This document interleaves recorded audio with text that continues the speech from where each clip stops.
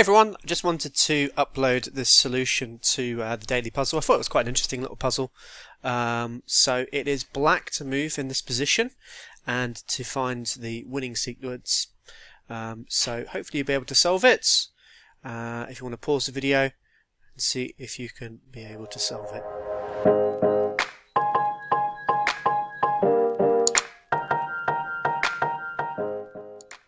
Okay, so the solution to this is quite interesting, but I think it's first important to note uh, that both sides have got uh, what's known as back row problems, so back row mating problems.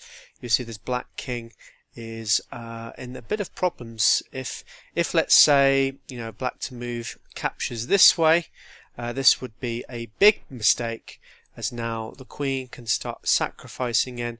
This is in fact checkmate on the back row. So black has got to be really careful in this particular position as to which way he captures.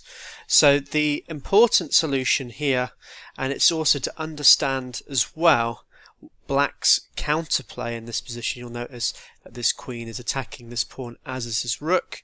The solution to this as a result is now rook captures this way instead. Uh, this is the only solution as after queen captures Black has got a very nice continuation. He can now capture this way with check. So white has to respond. The king moves.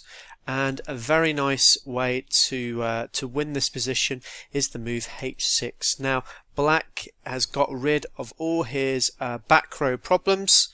Uh, there's not a whole lot that white can do in this position as now it is black who is threatening the back rank. If let's say he goes maybe queen to e2 so now stopping this particular threat along here. Very simple continuation. Queen takes very nice. And well after the rook captures you can deliver checkmates.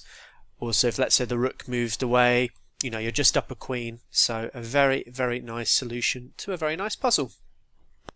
But let me know what you think. Were you able to solve this puzzle?